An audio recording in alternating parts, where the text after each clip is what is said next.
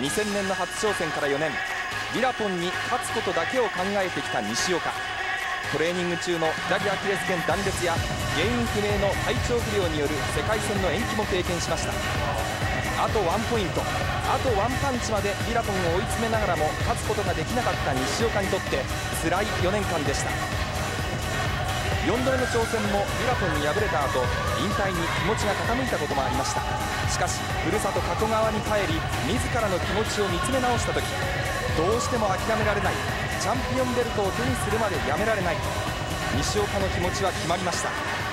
スーパーバンタム級にクラスを上げたことによりビラポンの呪縛からも解放され自らの肉体を削るような辛い減量もなくなり精神的にも肉体的にも充実した西岡俊明がリングに向かいます。気持ちを高めます。さあ両国のリングへと向かう扉が今開かれました。自ら選んだ再起への道。5度目の世界挑戦に向けた今日の試合。この試練を乗り切ればきっといいことが待っているはず。本人世界ランカーが6人もいるスーパーバンタム級でもやっぱり西岡がナンバーワンだと思われるそんな勝ち方をしたいと話す西岡俊明。今青コーナーのリング下です。あのノーモーションの左ストレートでスピードキングが再び輝きを放つでしょうか。黒のガウンに身をまとった西岡俊明が青コーナーの下までやってきました。今一口水を口にしてみます。さあ気持ちを高めます。スピードキング日本のエース WBC 世界スーパーバンタム級5位。大きく2つそして3つと深呼吸をして西岡俊明のリング登場です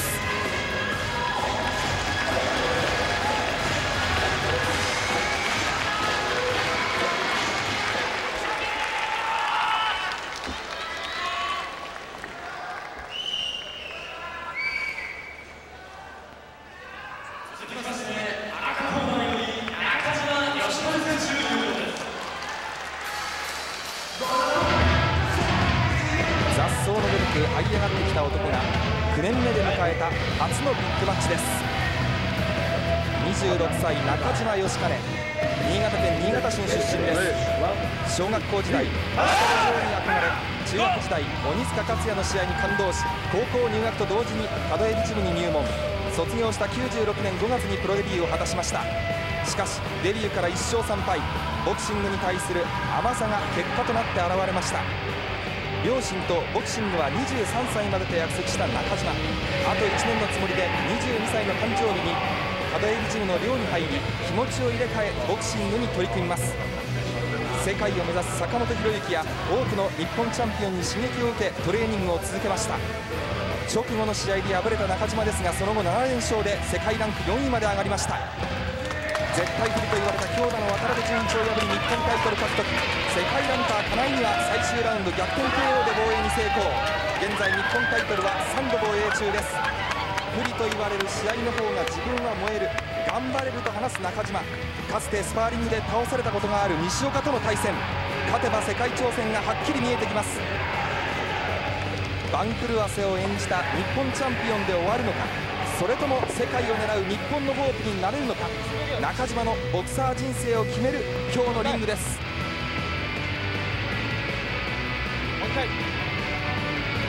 こちら中島も気持ちを高めます。そして大きく息をしました。精神を集中します。今日の試合西岡さんの引き立て役になるつもりはない。日本スーパーバンタム級チャンピオン WBC 世界4位中島義兼です。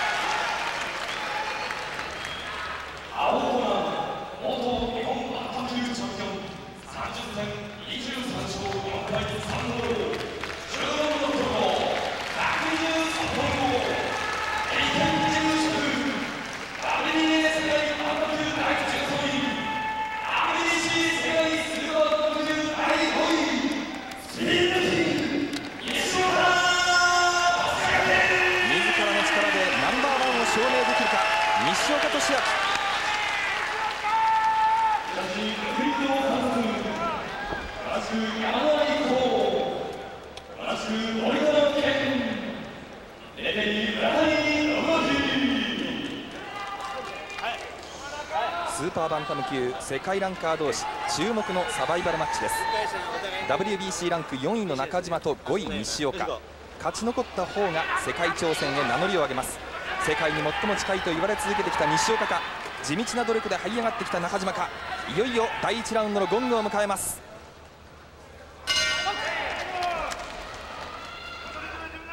スーパーバンタム級第1ラウンドのゴンが鳴りました。10回戦です。ゴールドのトランクスが日本スーパーバンタム級チャンピオン WBC 世界4位の中島吉謙そして黒のトランクスサウスポースタイルが WBC スーパーバンタム級5位の西岡利晃です。左のボディーブローを見せました西岡。じりじりとプレッシャーをかけていきます。第1ラウンドの立ち上がりサウスポースタイルの西岡が右を伸ばしていきます。そしてオースロックスタイルゴールドのトランクスが中島吉謙リング中央に両者戻りました。第1ラウンド30秒が経過したところ軽く右を出してきました中島吉謙そして前へ前へとプレッシャーをかけていきます。西岡利晃です。ワンツーだ。左ストレート。いきなり西岡がワンツーを見せました。中島も応戦する。さあまたフェイントをかけながら前に出るぞ。飯田さん、はい、西岡がかなり立ち上がりプレッシャーをかけているように見えるんですが。そうですね、スピードもあっていい動きしてますね、えー、僕は最初中島の方が強引に出ていくのかなと思ったんですけれども、はい、もうそれよりも先に西岡がプレッシャーかけていきましたね、えー、左のボディーブローを見せました西岡ですセレス小林さんはこの両選手の立ち上がりどういうふうに見てますか？そうですね西岡君思った以上に積極的ですね、えー、しかしここへ来てリング中央に戻ってまた中島もパンチを出していく右ストレートそして右左を合わせた。西岡が左を合わせてきました。リング中央です。右のリードブローです、まあ、なんといっても飯田さん、はい、この試合はあのオビラポンと4度対戦した世界タイトルマッチを経験した西岡がクラスを1つ上げてどういう試合ができるのかとい。うところ、注目のポイントではあると思うんですが。そうですね、はい、あのー、やっぱり階級を上げたということで、えー、あのー、それは全くもう意識する必要はないと思うんですね、はい、あの体ができてきたから階級を上げたというだけで、えー、その変にこうあのパワーを見せなきゃとか、うん、えー、パンチ力をちょっと見せつけなきゃっていうそういう意識があると逆に自分のボクシングを忘れてしまいがちになるので、とにかく階級のことは意識せず、ええ、自分のボクシングに徹してもらえればと思います。軽い左が西岡の顔面を捉えました。ワンツーを見せます。左ストレート。左ストレートでボディーブローを打っていきます西岡。今のところいい動きですね。スピードのある西岡選手、えー、いい動きしてますね、はい、スピードキングと言われて長く世界バンタム級の1位にランクされていた西岡利晃。この試合初めてスーパーバンタム級にワンリミットクラスを上げてきました。第1ラウンド残り40秒切っています。左を合わせてました。中島が出てくるところ西岡まあ、一方、中島としてもセレス小林さん、はい、日本チャンピオンで叩き上げるここまで這い上がってきて、ランキングは今、西岡より上なんですよね。いやこのこの先はもう防衛戦をすることにですね、えー、自分を自信をつけて、はい、実力を上げてきましたよね。はい。世界ランカーの渡辺純一を破って日本タイトル獲得。その後世界ランカー金井にも勝ちました。瀬川哲夫。ベテランの稀勢者にも勝っています。現在日本タイトル防衛3回を続けている中島義兼ゴールのトランクスさあ第1ラウンドほとんど時間がなくなりました。第1ラウンド終了しています。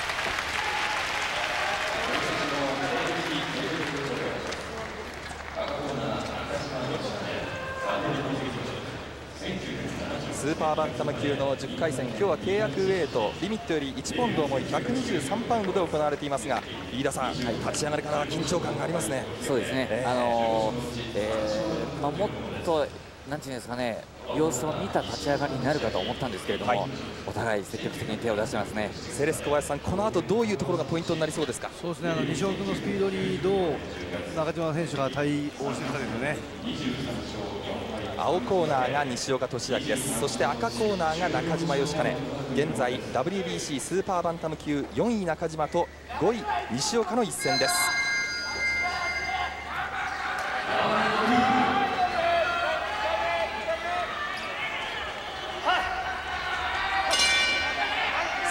ウンドが始まりました。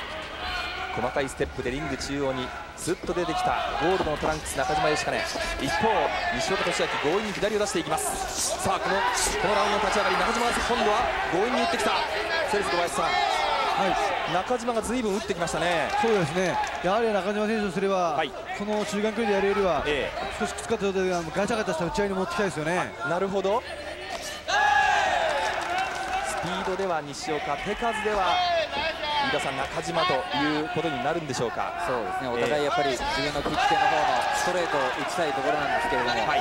えー、やっぱ中島の方が、えー。距離を詰めてから打つことになると思いますね、えー、村山さん、はい、赤コーナー中島陣営ですが、はい、まずですね戻ってくるなり気持ちだ気持ちだと勝てるんだぞと言い返しましたね、えー、でまあちょっと硬いかもしれないというふうに木内トレーナー見ています、はい、で相手の喉のあたりを狙うようにジャブを打つようにという指示を出しています飯田さん、その喉のあたりを狙うというのはどういうことでしょう、えー、とやっぱりそのサウスポー対策ということですね、はいえー、あの普段の右の選手の感じで打つよりもその喉元を狙った方が正確に当たりやすい。なるほど。ということですね、はい、村山さん、はい、一方の西岡陣営なんですが、えー、葛西トレーナーのお話によりますと、はい、非常にパンチが見えていていいとした上で、えー、えー、避けるだけではなくどんどん攻撃していけという指示を出していました。はいどんどん攻撃をしていけというセレス小林さん、はい、西岡陣営からのアドバイス指示があるようですね。少しね、えー、自分膝が硬いのかなって思うんですよね。西岡のですか、はい、はい、もう少し膝の柔らかめ出してもいいですよね。はい。すっと前に出て左を打とうとするところ中島も応戦しています。第2ラウンドの中盤です。まもなく1分50秒が経過するところ。細かいワンツーを見せます中島。それに右を合わせます。西岡です黒のトランクス。右のボディーブローを見せましたまあもともとおっと打ち合いになるか。中島パンチを空を切った。さあ強引に左打っていく。西岡。アッパーカットは中島です。ここでレフリーの浦谷さんがお互いバッティングの注意を与えました。もともと飯田さん、はい、この西岡といいますとそのノーモーションの左ストレートね。そうですね、えー、これが持ち味だったわけですが、はい、果たしてそのスピード、キレがこの5年ぶりという日本人選手相手にどういう内容で出てくるのかどうか。中島強引ですかなり強引に打ち合います、はい、そうですね。激しい打ち合いになりました。さあ第2ラウンド残り30秒だ。西岡が左の目の上ちょっと赤く色が変わっていますが。少し切りましたかね。ちょっと切ったでしょうか。さあボディーブローだ左西岡。あのボディですね。ええ。ー、再三左のボディーブローストレートが当たっています。西岡です。第2ラウンドも残り10秒になりました。左から右打ったところで第2ラウンドが終了しています。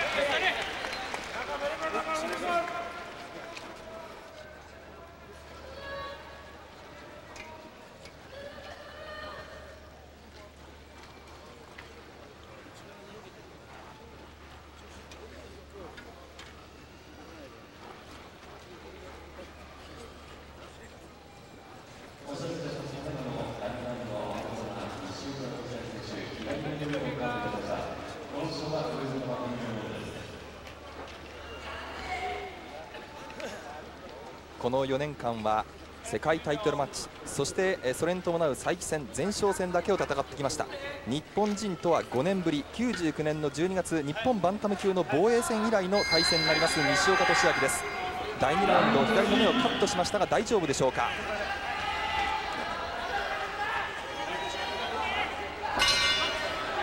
試合は第3ラウンドです。またスッと中島が出てきてまず左のボディーブローで突っかけていきます。さあ西岡がじりじりとプレッシャーをかける。左のまぶたの辺りをカットしてまたうっすらと血が流れていますが大丈夫でしょうか？さあ内側に持っていく中島。ちょっと西岡正面から行き過ぎてますね、えー、この辺りどうなんでしょう？セレス小林さんお互いの気持ちというか気負いというかこの辺りどうですか？あの非常にコメントにもあったようにですね、はい、スーパーバンタムでもやっぱり力の違い見せたいって書いてあったんで、えー、それはちょっと気負いになってるのかもしれませんね。あそうですか。はい村山さん、ええ、西岡の傷の具合なんですが、はい、そこまで大きくはないので今のところは大丈夫だろうという話です。あとはもう少しリラックスしろという指示を出していましたね。飯田さんもやはり硬いという目でしょうか？そうですね。あとやっぱりその得意の、えーまあ、カウンターですね。左のストレート、はい、自分の武器、がまだちょっと、えー、使えてない、それはやっぱその前に前に攻めようという気持ちが強いからなんでしょうけども、なるほど。それはあの中島も、えー、中島にとってはこう打ち合いに来てくれるということで、中島にとっても逆にやりやすくなっちゃうんですよね。なるほど。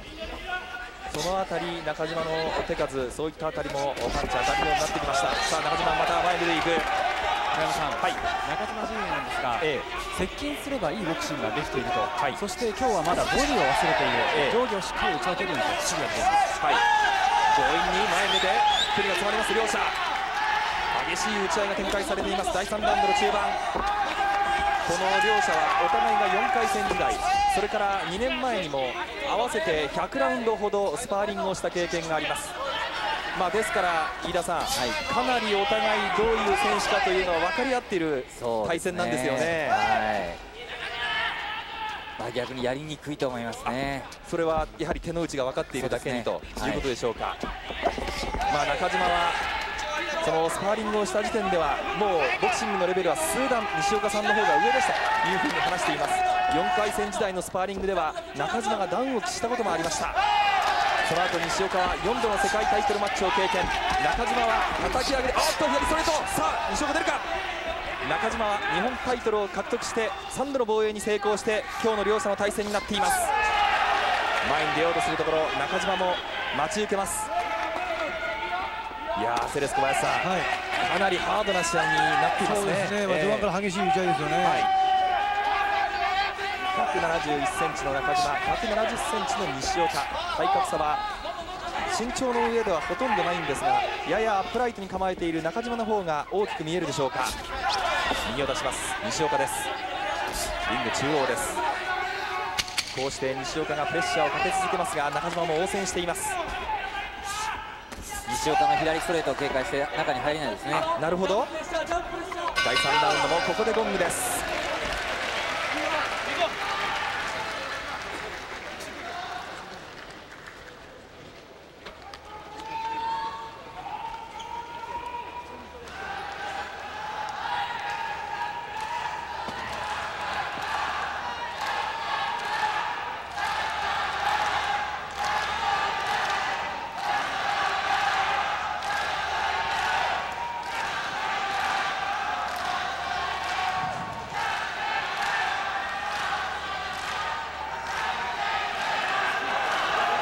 赤コーナーのランキング4位 ,4 位中島義兼です。木内トレーナーは世界ランカーに連勝したといってもタイトルマッチの経験がない選手ばかりが相手だった。この試合に勝って初めて世界が見えてくると話しています。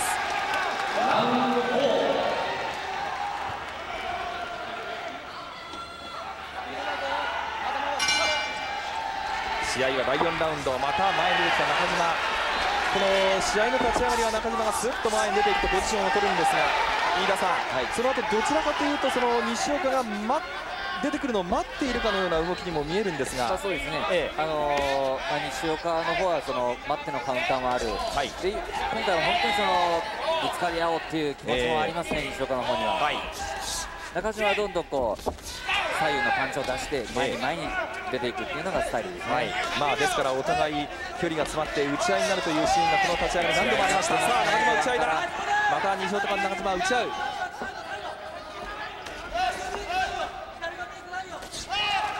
右を伸ばしていきます。西岡に対しまして距離を詰めて連打を出していくゴールのトランクス中島義兼。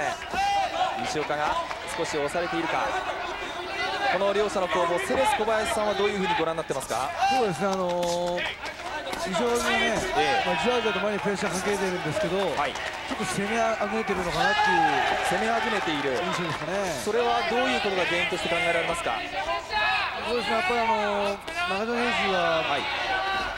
細かいパンチなんですけど、え手を出してくるんですよね、はい、そうなるとなかなか入っていけない状態になるんで、はい、西岡選手としては、えまあ、あの左の後ですね、えあの左を打った後もう一度押していくのかサイドに回るのかなりして攻めていきたいですよね。なるほど。この左のボディーブローですよね、ねあの後後ろに下がってしまうんですよ、はい、また距離が縮んでしまうあの縮まないんで、あの後にサイドに回ってもらいたいんですよね、はい、さあ中島が今度は打ってきた第4ラウンドの1分45秒が経過しました。また左のボディーブローです。あのボディいいですよね、えー、再三このボディーブローはまだボディーブローボディーブローが当たっています。西岡。あれが当たると次はこの左のストレートが当たりますからね。左のストレートね。はい、当たりますよね、えー、試合は立ち上がり第4ラウンドです。第4ラウンド2分経過。この試合に向けて230ラウンドのスパーリングをこなしてきたという西岡に対してサウスポーだけ150ラウンドスパーリングをこなしてきたという中島義兼共に練習量は十分です。万全の体調で今日のリングを迎えています。共に負けられない世界ランカー同士。世界挑戦をかけたランカー同士のサバイバルマッチです。またボディーブローを打っていきました。まあ、そういったサバイバルマッチですから飯田さん、はい、もうやる選手としてもとにかく内容も伴った勝ち方をしたいというのは気持ちですからね。そうですね、えー、そういう気持ちはもう出てますよね、はい、お互いに、えー、中島も非常にこのリングにあると頑張る選手なんですよね、はい、はい、第4ラウンド残り10秒を切りました。現役の日本チャンピオン。中島が連打が連打。さあしかし西岡パンチを合わせてくるここでロングです。第4ラウンド終了しました。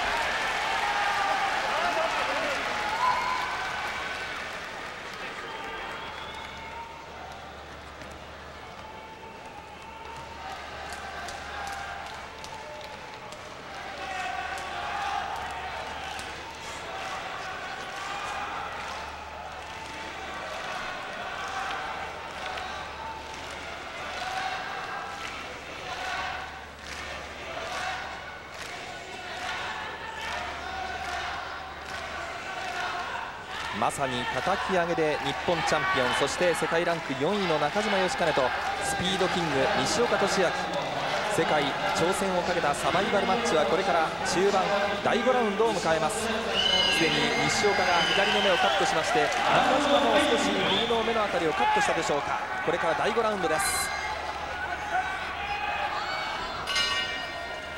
さあ第5ラウンドが始まりました。飯田さん、はい、中島も少しあの右目のあたりをカットしたでしょうかね。ねカットしてますね。はい。いや激しい打ち合いしましたからね。えー、この西岡と中島、この2人ともにスパーリングの経験のある世界ランカー福島学が話していたんですが、そのスパーリングで考えてやろうとしているそのボクシングのレベルは西岡の方が数段上です。ただ、中島打ってきた、中島打ってきた、中島打ってきた、中島の激しいラッシュ。さあ打ち合いになる。西岡も右当たった右突き当たったそして左ださあ西岡打つぞさあ激しい打ち合いだ足両者。西岡が出る。中村する。西岡の左激しい打ち合いです。第5ラウンドの立ち上がり激しい打ち合いになりました。えー西岡の左の目はバッティングによる傷です。そして中島の右目はヒッティングにより切ったものという説明が場内にありました。あのそれで飯田さんね、はい福島が中島とスパーリングをした印象としては、はい、自分が手応えがあったなというパンチが当たっても全く中心がぶれないんですという強さを言っていたんですがこれはどういうことなんでしょうか？いやもう本当にその体の頑丈さっていうのがあると思いますね、はい、あのそういう打たれ強いっていうのもあるし、えー、あの練習量が多いと思いますね、はい。まあ、特化鍛えている中島ですが西岡が一切構わず打っていきます。しかし全く表情を変えませんまあ、ですからその飯田さんね、西岡がだぞ。福島が言っていたのは、試合になってもしその自分が手応えのあるパンチが当たって相手にケロッとされたらそれは嫌じゃないかと。いやそれは逆にプレッシャーになりますからね。打っていく方に、はい、なるほど、はい、という中島の強さがあります。しかしこのラウンド激しい試合中島が左を打ちましたこのラウンド、セレス小林さん、はい、激しい打ち合い続いているんですが、はい、この打ち合いはどちらに分があるというふうに見ていますか？このラウンドは西岡選手ですね。西岡ですか？ただ西岡選手こんだけ打ち合いを挑んでくるのを、えー、久しぶりに見ましたよね。そうですよね。あのどちらかというとこれまでの世界戦もそうですがあの試合になってちょっと弱気な面が見えるようなそ、ね。んな西岡だったんですが。気持ちが全面前に出てますよね、はい、お互いにまぶたの辺りをカットしています。まだ試合は中盤第5ラウンドなんですが激しい打ち合いになっています。第5ラウンドも残り30秒になりました。このラウンドは西岡激しく打って出ました。中島も応戦しまして激しい試合になっています。激しいですね。すごい試合になりました。やはり西岡選手も世界戦となるとその勝つ絶対に取るっていうことでこう、えー、硬くなるところもあると思うんですけど今日なんか思いっきりやってるような気がします、ね、そうですよね。また左ストレートを伸びました。自分のパンチを自分のボクシングを伸び伸びやってるっていう感じですね、えーこれが西岡だというところをアピールしようとしています、ね、はい、まさにそういう内容です。そして中島も応戦して第5ラウンド激しい打ち合いの中終わりました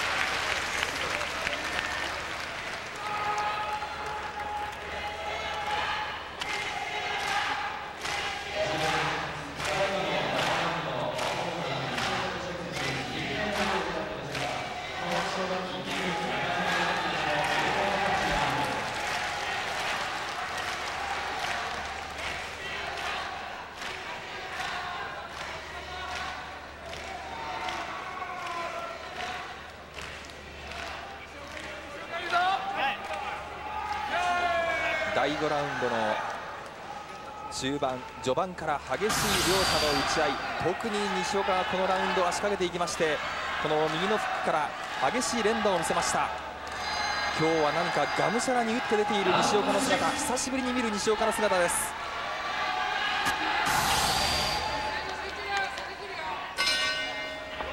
10回戦これから第6ラウンドです。さあ今度は中島だ。第6ラウンドは中島が出だしを思いっきり打ってきました、中島選手の陣営が、先ほどあの相手の喉元を向かって打てって言ったのは、えー、中島選手、内割りちょっと膝が立ってしまうことがあるんですよ。なるほど、はい、浮いてしまうというのがあるんで、体勢がちょっと浮く。そうですね。はい、喉元を狙うことによって、その浮くのを抑えてるというのも考えられますね。あ、なるほど。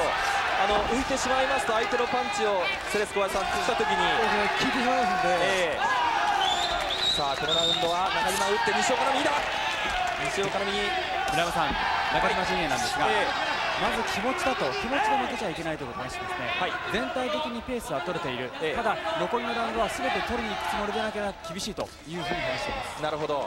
という中島陣営の見方なんですがセレス小林さんは前半のグラウンド、まあ、どちらがペースをということを言えるんでしょうか、この試合。自分はまあ西岡君が少しペースを握ってるかなと思うんですが、それはどういうあたりですか？あの的確にパンチ当ててますよね。えー西岡は両まぶたをカットしました。あの3月のイヤコン戦も激しい出血の中試合が行われていました。飯田さんは前半のグラウンドどういうふうに見ましたでしょうか、えー、そうですね、えー、本当にそのクリーンヒット今みたいなパンチは西岡選手の方が、はい、的確に当ててますね、えー、手数でやっぱり中島の方が出してる。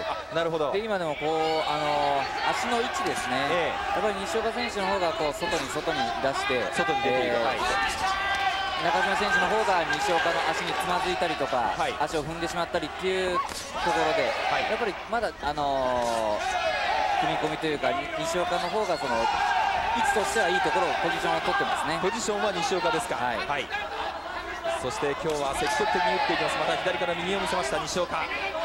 そして中島も細かいパンチで応戦しています。この辺りお互いに足を止めての打ち合いという時間が長くなりました。スーパーバンタム級の10回戦。世界5度目の世界挑戦を狙う西岡とこの西岡を超えれば世界挑戦が見えてきます。中島義兼さあ打ち合いになる西岡が打つ。右を右を出します。中島も強引に右を打ってきました。リング中央に戻る。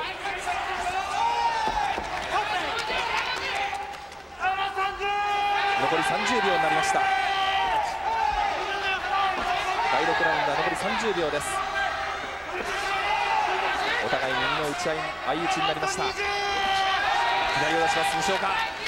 西岡の左がボディそして顔面と捉えています。中島も強引にパンチを出して応戦します。お互いにまぶたの辺りから出血が見られます。残り10秒になりました。第6ラウンドも激しい攻防のうちに今終わりました。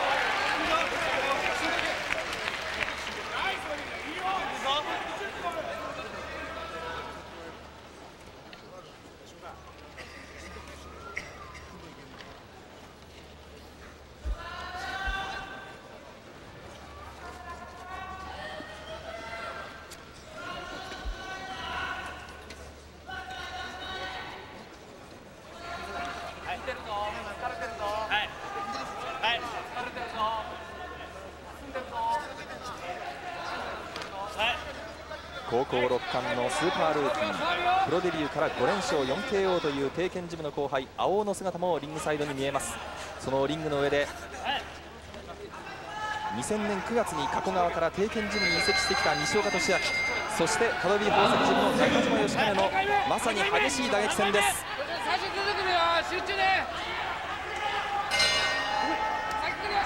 さあ試合は第7ラウンドです。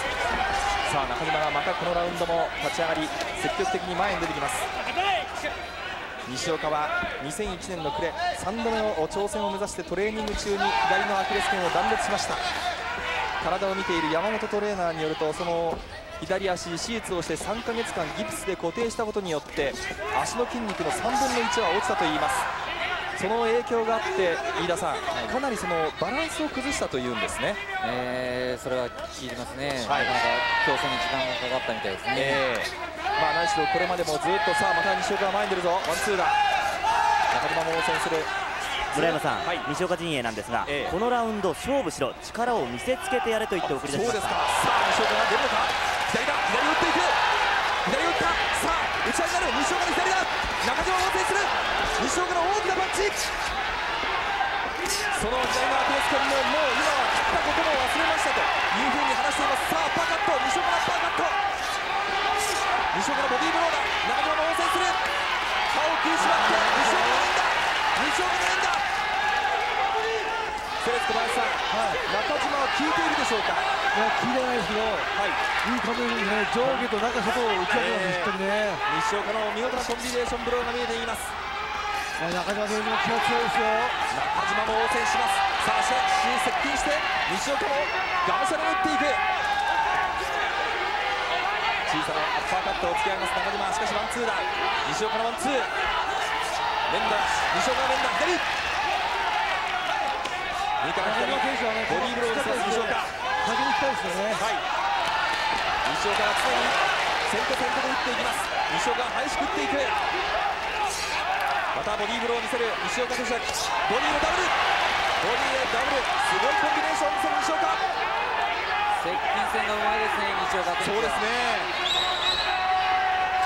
接近してこれだけのコンビネーションを出します。西岡ボディから顔面へ今度は見延顔面のパンチ左ストレー。ト左ストレートを叩いた西岡しかし中島も飯田さん、はい、全くなんか効いているような素振りを見せません、ね、ここで左のまぶたからの出血が多くなりましてレフリーの浦谷さんが試合を止めましたあの中島のこの雰囲気どうなんですか？いや本当にあれだけ今の西岡の接近戦相当な数のパンチ、ええ、中島もらってるはずなんですけど、はい、全く表情変わってないですね、えー、あの少しでも効いてるような素振りを見せるとまた相手にね。そうですね、はい、おそらくつけ込まれるでしょう。この辺りがその中島の強さです。しかしイサイこの後打っていきます。中島を応戦する。中島も応戦する。苦かったさあ今度は中島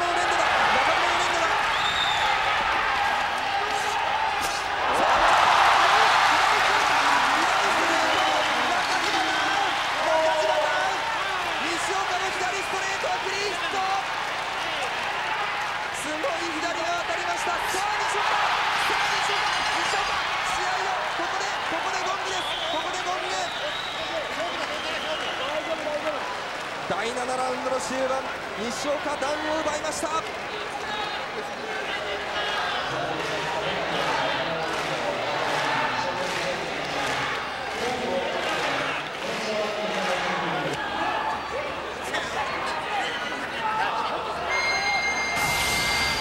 の西岡の右ストレートはクリーンヒットしまして中島モンドリ打って倒れました。さあ西岡一気にいくか。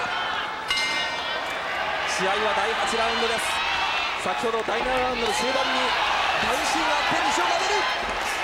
西岡が出る。足を止めて中山を打ち合う。村山さん、はい、西岡陣営なんですが世界チャンピオンになりたければこのラウンドで倒せというふうに言われていました。さあ西岡がそうなりますと飯田さん一気に決めに行くということになるんでしょうか？そうですね。でも中島の方も前に出てますよ。中島ダウンのそのダメージというのはどうでしょう？さんさっきのはもう見事に入ってますからね、えーいくら中島でダメージはあると思います。ダメージはあるはずなんですが。しかし打っていますよね。少し顔色も変わって顔なんですよね。中島の右ストレートの今度は西岡捉えた。はい、木内トレーナーからは、倒すか倒されるかの勝負だと人生をかけて勝負に出と指示が出ています。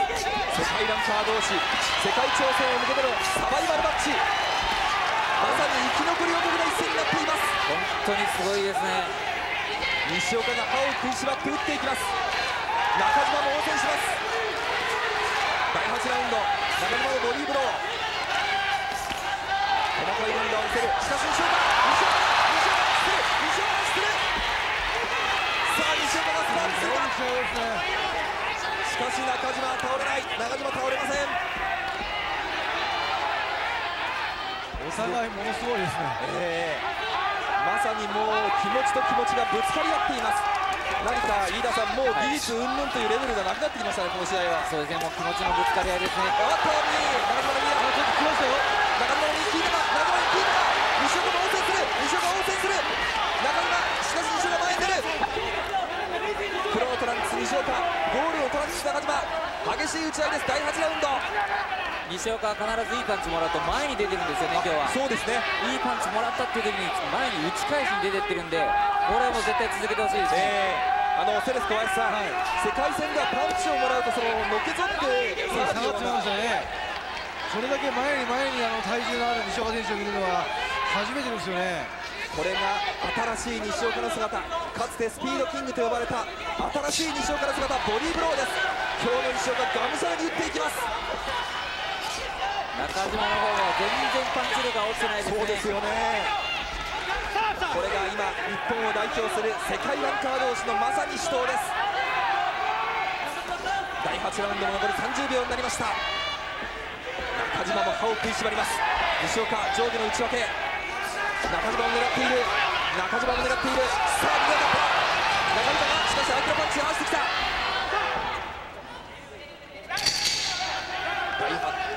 1ラウンド残り10秒になりました。2位に当たった西岡。お互いに全く下がりません。激しい打ち合い第8ラウンド終了です。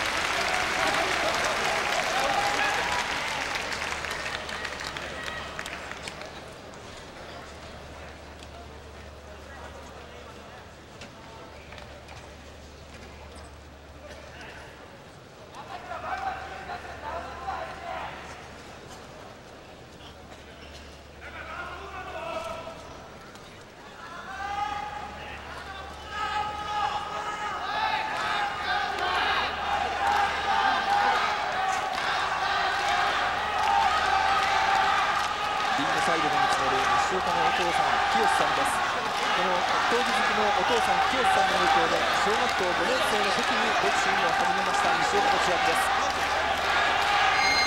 今日の激しい死闘も残すところあと試合は終盤第9ラウンドです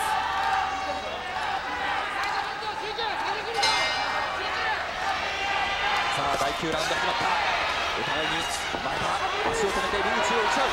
左を出します西岡。応戦する中島。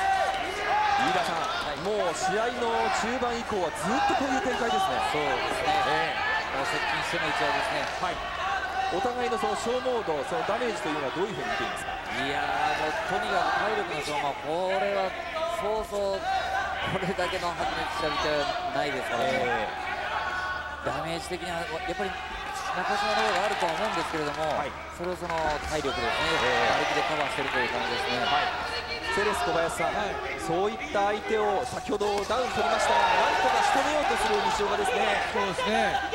やはりコンビネーションですよね。上下の内訳を欲しいですね。はい。コンビネーションを出すことができるかどうか。ええ、西岡君のパワーがないんじゃなくて、はい、中田選手はやっぱり左が取りました西岡中島がスッスッと前に出てきます確かにこの中島タフです。すごい頑張りを見せます。そうですよね、えー、あれだけのパンチを受ければまあ飯田さん普通の選手はとっくに倒れているでしょう。そうですね、えー、はい。これが中島の持ち味粘りです。さあ西岡もパンチを出す。中島応戦す。る西岡が下がりません。今日の西岡は下がりません。両まぶたから出血。時々目をまばたきをしてちょっと醜そうな表情を見せるんですが今日は西岡弱気な西岡は影を攻めています。かなり、えー、左の、えー、左のまぶたからかなりの出血でセレス小林さんかなりその目元気にしていますよね。見えないんでしょうね。それでも逃げません。下がりません西岡。自ら5度目の世界挑戦再起を選んだ西岡今日の試合圧倒的な勝ち方をしてやっぱり西岡だと思わせるようなそんな試合をしたいと話していました左西岡にいた中島しかし中島動きません。ビクともしない中島の表情だ。いいパンチは当たっています。しかし中島をこらえている。そしてパンチを返して応戦する。中央中島の西岡も今日は皆さんかなりパンチは受けていますよね。そうですね、え西岡のダメージはどうでしょうか？西岡ももちろん中島のパンチが強いですからね、効いてはいると思うんですけど、それよりも今日は本当に精神力が強いですね。これはお互いに言えることです。素晴らしい試合になっています。激しい打撃戦になっていまして第9ラウンドも残り9秒10秒を切りました。第9ラウンド終わっています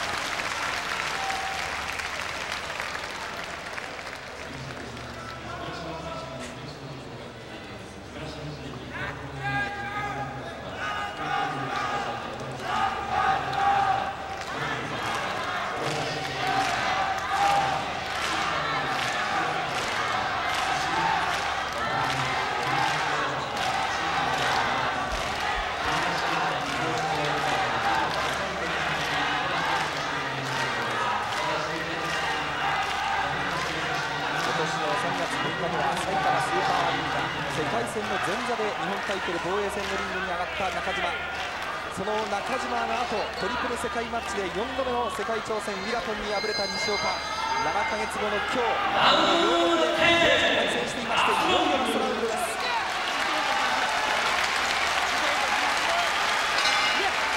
これまで4度の世界挑戦5度目を目指して再起の西岡俊明に対しましてまさに雑草のごとく叩き上げでここまで這い上がってきました中島の。意地と意地のぶつかり合いラストラウンド。リング中央足元の手の打ち合いだ。村山さん、はい、木内トレーナーからは打って打ってとにかく相手を休ませるなと言ってくださいましたまさにその指示通り中島激しく打っていきます。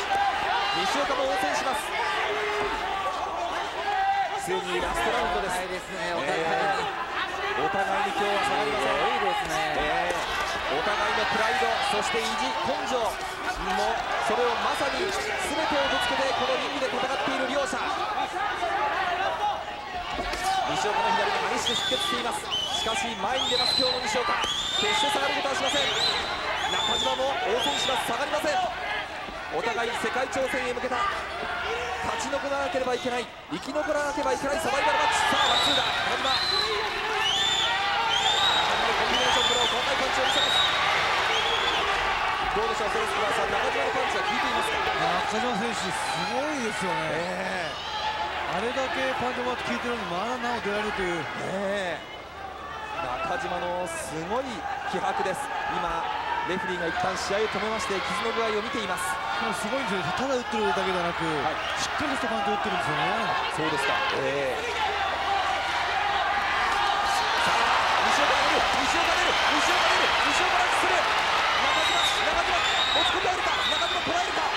西岡が打っていく。西岡打っていく再開されましたリング中央足元までの両者の打ち合いだ激しい打ち合いだ今度は中今度は中島だ今度は中島だあ来ますよさあ中島パンチ効いたいいバンチありま最終ラウンドロスタイムはありますが手元で1本を切りました西岡の丸太からは激しい出血ちょっと中島のパンチ効きましたかね西岡、えー、お互いどっち触れてもおかしくない状態ですけどね、はいまだ時間は1分あります。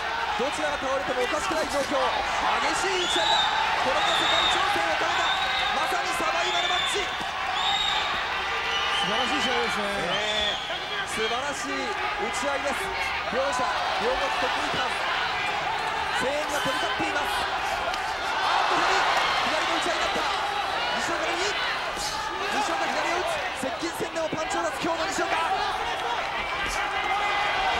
止まったまま両者の打ち合い中島も応戦します。中島は激しく打っていきます。さあ残り30秒になりました。この試合このラウンドは先ほどデッパーチェックがありましたが6タイムがあります。さあ打ち合う。最後まで打ち合う。まだ時間はある。前に出る西岡左。中島も応戦する。右から左を打つ西岡。お互いの魂がぶつかり合います。ほとんど時間がなくなりました。残り10秒になりました。しい打ち合いのままこのまま試合が終わるのかスーパーバットの級のサバイバルマッチ打ち合いだ打ち合いで試合終了素晴らしい打撃戦を展開しました最後は笑顔でお互いの結果をたたえられました。この試合は第7ラウンドに西岡が中島からダウンを奪っています。そのダウンも含めてどういった判定が出るのか。こちら中島。かなりまぶたの辺り腫れ上がっています。西岡は両のまぶたを切りました。今ジャッジペーパーが集計されています。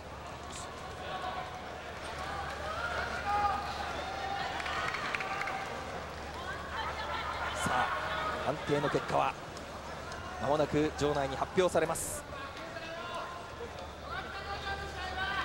最大のお知らせいたしますジャッジウクリッド・サラサス96対93ジャッジ森田健97対94ジャッジ山田一行97対93以上3対0の発表として勝者青コーナー。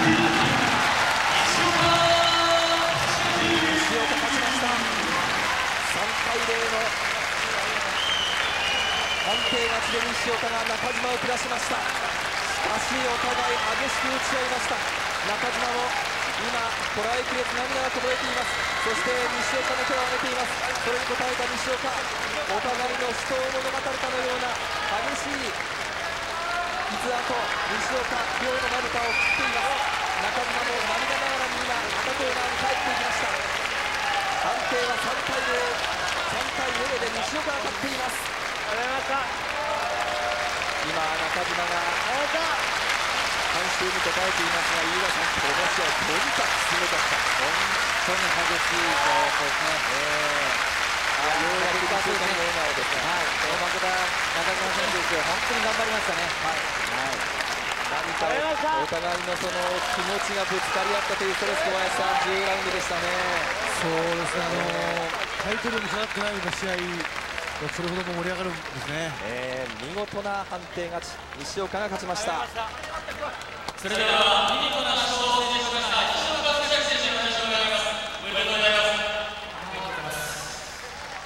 素晴らしい大決戦として見事な勝利でしたあまあ自分としてはもっと綺麗に勝つつもりだったんですけどあの中島君がもう相当僕のこと研究していてもうすごい強かったです。スーパーバンタム級にウェイトを上げてのそして5年ぶりの日本人選手との試合いかがだったんですか？いややっぱり、中島選手は日本の中でもトップクラスの精神力とあの練習量を持ってるんであのそれに当たって練習したんですけど中島選手相当練習したと思います。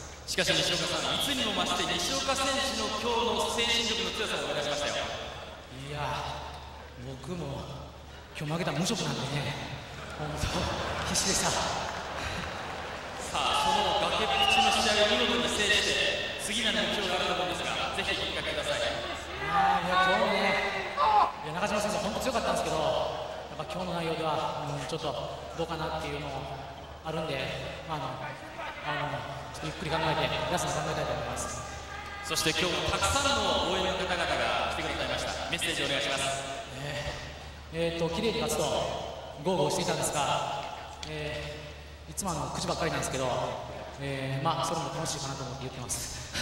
えーまだ、あの今後懲りずにまた試合を見に来てください。見事な世界ランクの視聴者でした。飯田さん何か今のインタビューを聞いていると、はい、その中島の頑張りというのをね西岡がずいぶん言っていましたね。そうですね。本当にでもまあお互いハイランドですからね。こう激しい試合になるのも間違いないんですけど、はい、やっぱそういう中でもあの本当に今日も西岡選手のセンスというか、はい、ボクシングのうまさですね。そういうのはしっかりと、えー、見れたと思います。セレス小林さんは、今日の西岡はどういうふうにご覧になりましたいや僕はあの正直な話こういう印象が見たかったなっていうあんだけ激しい打ち合いをする、下がらない、はい、あとあれが世界を取るか取れないかの最後になると思うんで今日はああいう印象が見えて僕は嬉しかったですね。なるほど。この試合が必ず次につながると。思いますね、はい、一方の敗れた中島にそれでは飯田さん。